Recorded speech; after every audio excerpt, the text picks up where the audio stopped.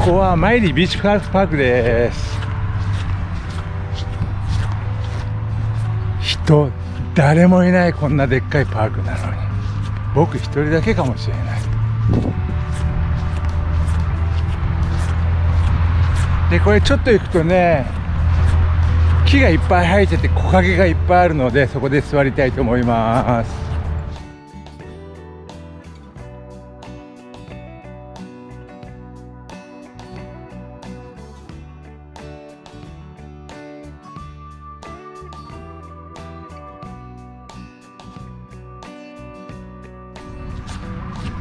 コーヒーも持ってきました。ここにもテーブルがあります。テーブルあります。でこっちね木陰がいっぱいあるの木がいっぱい入ってるでしょ。こんな感じです。いいところででしょここ。ここに来たら木陰がいっぱいあるから日中の炎天下でもね全然平気。水すぐそばにある。海がすぐそばだし木陰もありますバーベキューもできます。ここあここはいいかな。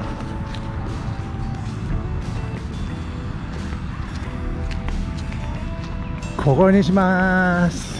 海すぐそばだからね。海行ってみます。ただここ岩場なので危ない。ここずーっと海岸線ずーっと岩場です。ああそこにちょっと砂地があるな。木陰はこんなかこういう感じです。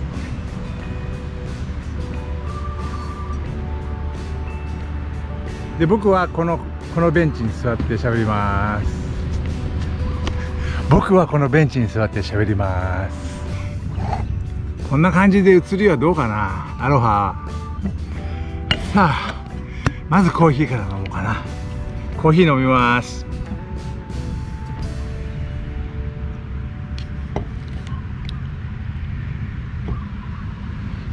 誰もいない。みんなの分まで誰もいないビーチを楽しみます。代表者として。コメントをいっぱいいただきました。ありがとうございます。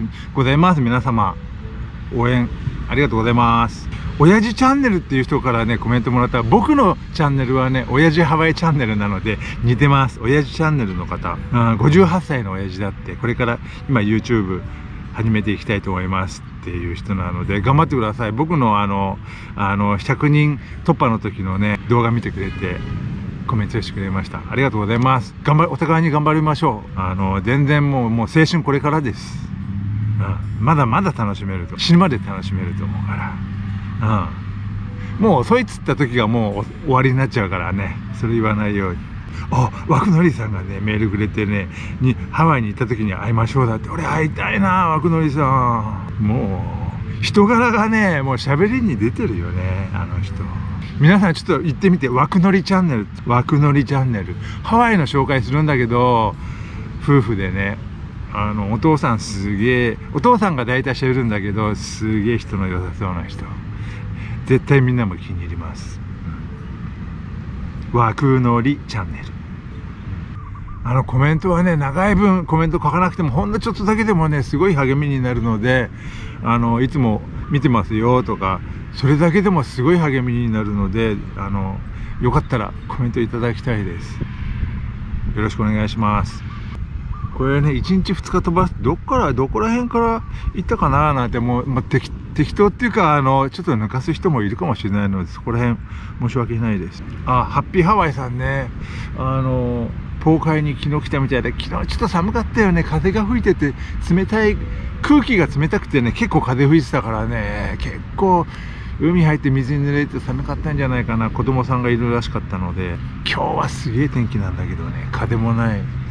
海も穏やか。自然はね人間コントロールできないから人間が自然に合わせないといけないという掟です。パーキングが空いてねサーフィンできるようになったからねこれからもうサーフィンが日課になるかもしれない。朝一番とりあえず波チェック。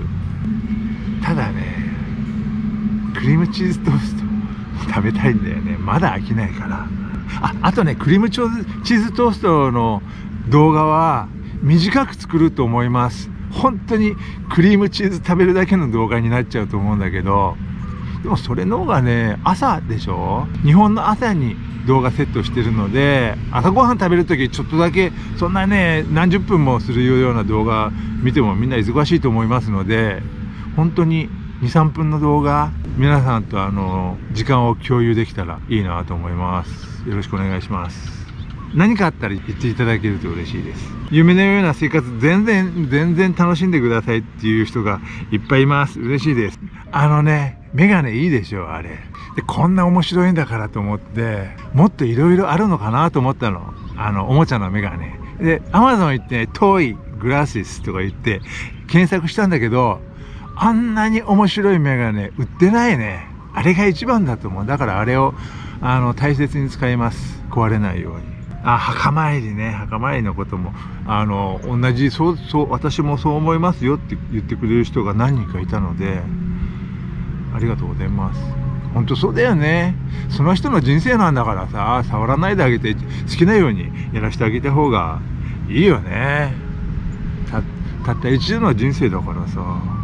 僕ねもう子供大きくなっちゃったから子供がちっちゃい時に僕こういうちゃん考えをちゃんとスパッと言える人だったらそういう風に言ってあげたかったなと思うんだけど自分の子供がねダーディ自分はもう高校行きたくないよって言ったらねお自分の好きにしなって言うかもしれない僕がそれでうまくいっちゃったから人にああだこうだ言えないよねうん、お前自分の人生だから好きなようにしてもいいけど自分のケツは自分で拭きなっていう。うん。そしたらね、もう16歳でしょ？なんとか生きていけるしね。よくさ、高校、僕中卒でしょ？高校途中で辞めちゃったからね。やっぱりそういう過去がある人ってさ、グレって、あの、やんちゃで辞めちゃった人とかいっぱいいるけど、退学させられたとか。後からみんな言うことはね、お前、高校だけは出ておけよってみんな、後の人に言い、言い、言い継ぐでしょ？僕、高校辞めてもね、うまくいっちゃったからね、そう言えないよね。お別に自分の好きなように生きたらいいんじゃないの？というふうにしか言えないので、うん、いろいろあるからね。ちょっと頭こんがらがってきちゃったので、次行きます。みんな、あの、クリームチーズトーストのことみんなやってますなんつって、めっちゃくちゃ嬉しい。ただね、毎日やらないかもしれない。多分ね、あと1週間くらいしたら、もしかしたら飽きるかなもう全然わからないけどね。いやいやは僕やらないと思うので、あ飽きたらちょっとやめて、また食べたくなったら食べるという、あの、本能のままに生きているので、急にやらなくなっちゃう時もあるけど、でもまた来ます。僕、チーズ、クリームチーズ大好きだから。ただね、納豆ご飯好きでも毎日納豆ご飯だったらちょっと休みたくなるのでもしかしたらそうなるかもしれない。めちゃくちゃいいここ誰もいないからね。自由。こんな喋ってても誰にも気にしない。誰もいないんだからここ。車は通ってるけどね。でもちょっと景色を見せたいのでこっち側にもしようかな。こういう感じでもいいかもしれない。どうでしょうかこういう感じも。伸びます。こんな感じの場所です。木陰がいっぱいあります。あパンもコストコのパンですか？パンもそうです。コストコから買ってます。細長いのとバゲットとこんな四角いやつ。四角いやつはちょっと今名前わからないです。お日本はいろんなの。明太子のクリームチーズもあるんだね。さすが日本。食べてみたいね。明太子。明太子のおにぎり美味しいからね。明太おにぎり一番かもしれない。ワイキキでねあ友達が日本から来た時にワイキキでサーフィンしようっつったのかな？忘れちゃったけどワイキキ歩くことがあってローソンっていうのができたの。ローソン。日本のコンビニ。そこ入っておにぎり買ったんだけど明太おにぎり。美味しいねあれ。あれ一番だわ。みんなはねどこの家の近くのコンビニどこ行ってもね明太おにぎりあるんだからね。みんなあれ食べれるんだよね。吉津十二さん。キング・オブ・サーフギター。ディック・デイル。知ってますよディック・デイル。でもねディック・デイル僕はあまりハマらなかった。僕やっぱりベンチャー派ベンチャーズ派。ベンチャーズ好きです。ディック・デールはね結局ね僕ギター好きでしょ？ギター好きだからギタリストも好きなんだけどやっぱギタリストってねいい曲があって初めてギターが引き立つというねだから曲がよく曲がね自分の気に入る曲じゃないとねやっぱりギターも映えないんじゃないかな。言ってることわかるかな？例えば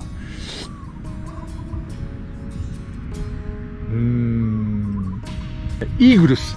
ホテルカリフォルニアのあのギターソロいいでしょ？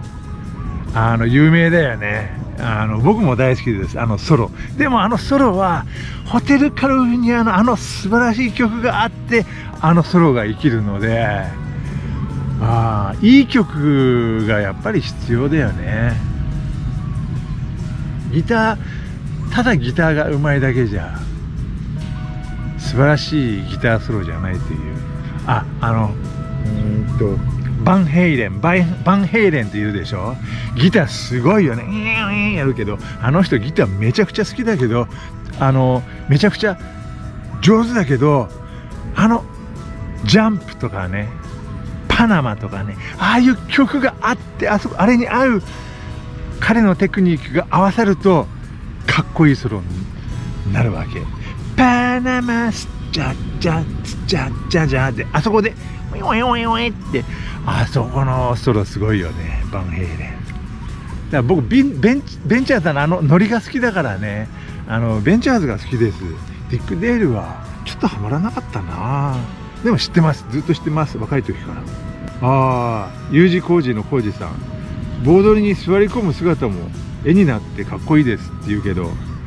あまあまああの僕ねかっこよく作ってますからね。あのー、動画編集僕がしてますのであのそうなんです。かっこよく作ってるんですあれね。かっこ僕がかっこよく映るにはどうやって編集したらいいかなってそればっかり考えてますので結構作り込んでるとこあるかもしれないです。かっこよくないとか全部これしてますからね。あそうね。クリームチーズトーストあの朝方見てびっくりした人がいるみたいですけどマッコさんマッコさん。あ朝あげますクリームチーズトースト。でほんの少しあの食べるだけです。食べてないやとじゃれて終わると思います。朝ねみんな忙しいでしょう朝。だからそんな長い動画を朝から見せない方がいいかなっていうこれもあの意識的にやってます。丁寧に言ってるわけじゃないないんです。いやみんなクリームチーズトーストのこと書いてくれて嬉しいね。今度はここから行きます。角度が変わりました。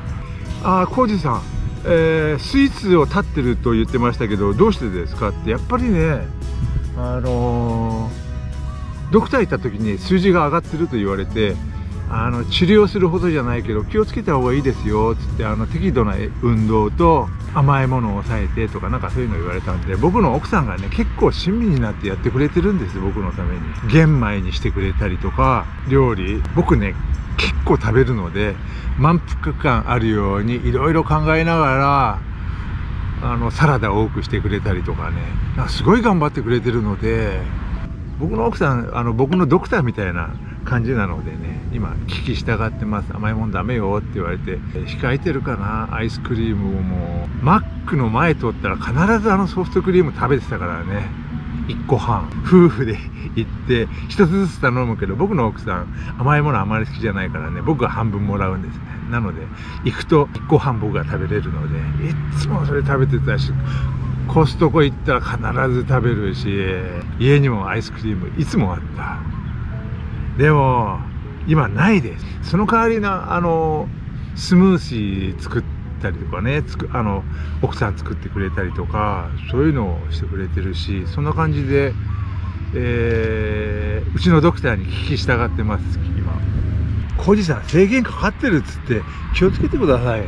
もうもう糖尿になったらもうね一回になっちゃったら元に戻らないらしいからね。やっぱり食べるの人間にとって食べるのって重要だからさ。美味しいものを美味しいって食べられなくなっちゃったら結構がっかりするからいつまでもチーズケチーズクリームチーズトースト食べて美味しいって食べたいしね。だからできたら病気になりたくないよね。あハッピーハワイさんクリームチーズクリームチーズを食べてるだけの動画で成立する UDA さん。成立してるかなこれ。まあこれからだな。始めたばっかりだからね。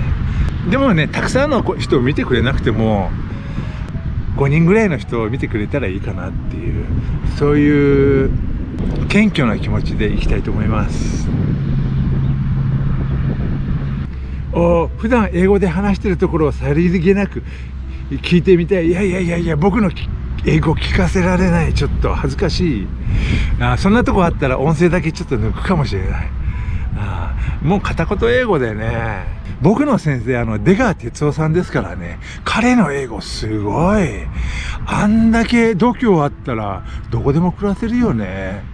あみんな聞いたことある？ちょっとあの YouTube でね出川哲夫っつって英語とか英会話とかやったら出てくる。あの知らない国行って誰にも頼らないで何かをするっていうようなね番組があってねあの人すごいわ出川哲也さん僕の先生です。あの技があったらねどこでも暮らしていける。あのなハワイ港さんゴーグルなしで海の中目痛くないですか？痛いです。痛いです。僕 あのいつもねマンあのマンタの時とかこのベイトボールの時とかねあの海入ってないです。ボードの上からアクションカメラアクションカメラを持って突っ込んでるだけです適当適当っていうか一応影とかを見ながらここら辺だなと思ったらガン突っ込むだけうまく撮れてたらいいなとお願いしながらこうやって突っ込むそれしかしてないので万が一マスクがないのにアクションカメラ水に落っことしちゃってって言ったら、しょうがない。一生懸命目開いて探すけどね。でも普通はしない方がいいです。ここ、こんな大声出しても全然気にならない。人、誰も、あっちも、こっちも、誰もいないです。喜んでいいんだか悲しんでいいんだかね、そこら辺は微妙ですけど、そこら辺は濁しますけど。ベイトボールは日本語でナブラと言いますってナブラってなんか聞いたことあるねそうかもしれないナブラナブラカタブラですねケニー J45 さんケニー J45 ありがとうございます。いつもいつも応援してくれてます。そしてコメントも必ずくれてます。えー、ケニーさんありがとうございます。こんな感じかな。こんな感じです。結構ね長くなっちゃうんだよねこれね。またたまにねこういうところでやりたいと思います。ビーチこんなビーチたくさんあるんだよね。こんなテーブルがあってね過ごしやすいビーチ。で人がいないビーチたくさんあるからね。場所を変えながらこれも毎日じゃないかもしれないけどやっていきたいと思います。ありがとうございました。アミホ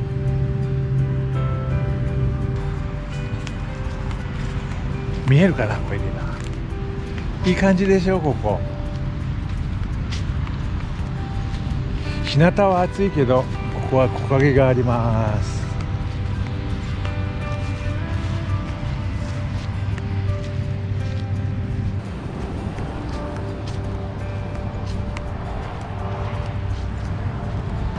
今やっとねジョギングしてる人を1人見つけました。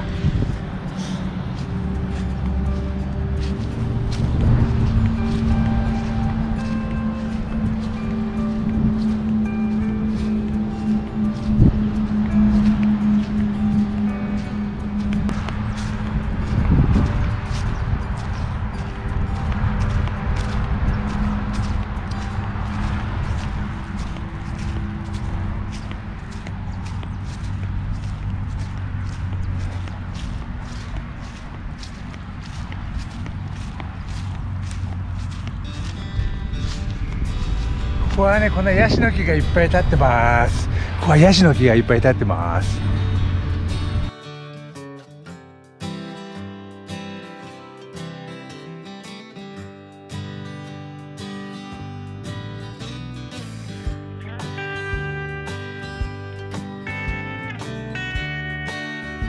ピンクピルボックスからあと23分走ったらここのパークに来れます。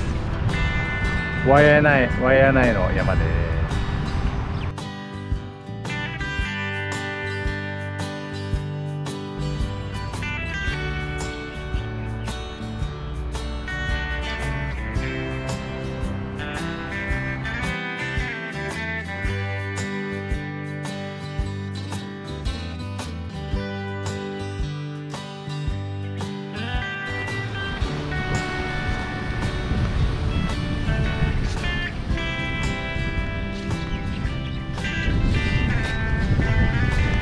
メントでね景色だけじゃなくて優柔さん入った方がいいですよって言われたので入ります。